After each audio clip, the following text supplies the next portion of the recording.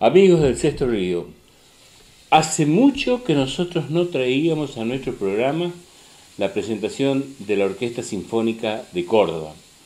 Hoy la traemos con la dirección del director invitado Ignacio Calderón y allí dos figuras muy importantes de la misma, Lucía Luque, solista de violín, y Marcelo Montes, solista de violonchelo, nos van a interpretar una obra muy importante.